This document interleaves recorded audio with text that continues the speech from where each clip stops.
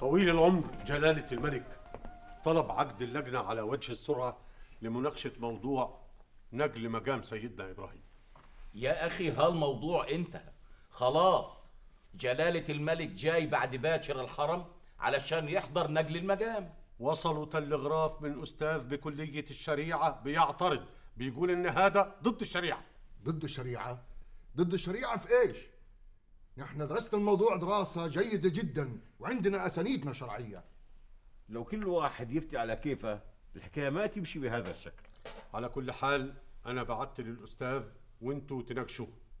هو يتكلم وانتوا تسمعوه وتردوا عليه. تفضلوا. وهو كذلك.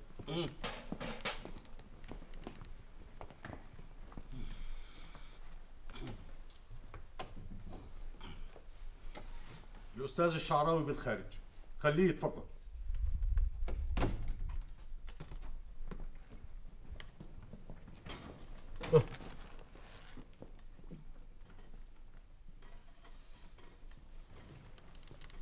السلام عليكم ورحمة الله وبركاته. وعليكم السلام ورحمة الله وبركاته. يا أستاذ شعراوي أنت ليش معترض على نقل مقام إبراهيم؟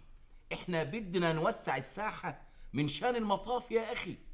نقل المقام لا يجوز. ولو جاز لأحد لفعله عمر بن الخطاب رضي الله عنه.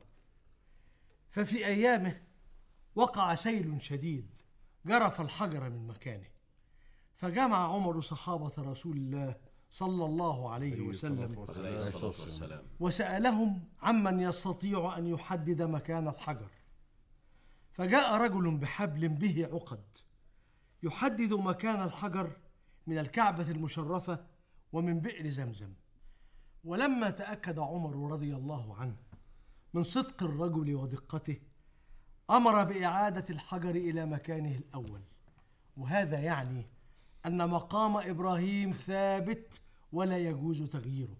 يا أخي إحنا ندري هذه الرواية لكن ما لا تدريه أنت إن مقام سيدنا إبراهيم اللي هو الحجر اللي كان بيوقف عليه سيدنا إبراهيم كان ملاصق للكعبة الشريفة. فقام رسول الله صلى الله عليه وسلم عليه الصلاة والسلام. بنقل مقام سيدنا إبراهيم إلى مكانه الحالي.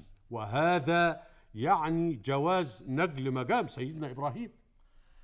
مع احترامي لرأي فضيلتكم إلا أن الاعتماد على بعض ما فعله سيدنا رسول الله صلى الله عليه وسلم لا يصلح سندا.